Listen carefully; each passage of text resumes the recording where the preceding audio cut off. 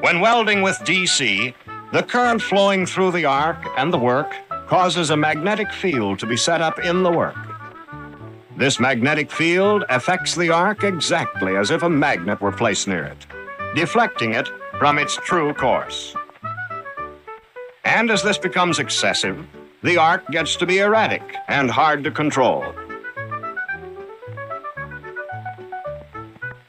This makes it possible for old man Arc Blow to say to the operator, Phooey. And there's not much the operator can do about it.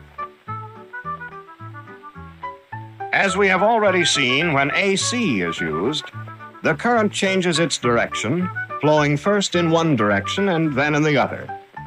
The magnetic fields set up in the work by this alternating current naturally change their direction every time the current changes direction.